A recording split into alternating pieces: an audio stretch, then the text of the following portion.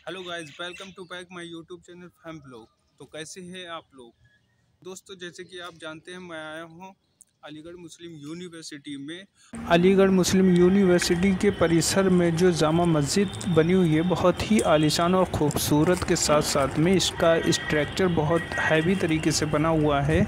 जैसे कि आप ये सोचते होंगे, ये लाल लाल जो दीवारें दिख रही हैं, ये ईंटें हैं। तो दोस्तों, ऐसा नहीं है, ये ईंटें हैं, ये पत्थर है, लाल बलुआ पत्थर है। दोस्तों, इसका व्यू देखिए पहले सामने से।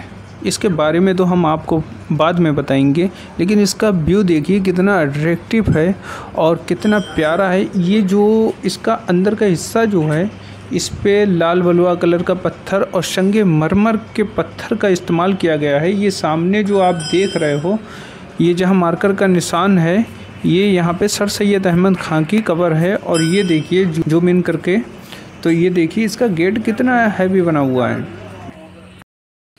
अलीगढ़ मुस्लिम यूनिवर्सिटी के अंदर मस्जिद का निर्माण करवाने वाले सर सैयद अहमद ख़ान थे। इन्होंने इसका निर्माण 1879 में और एक समय में इस मस्जिद में 5000 से अधिक आदमी नमाज़ पढ़ सकते हैं इसके अंदर।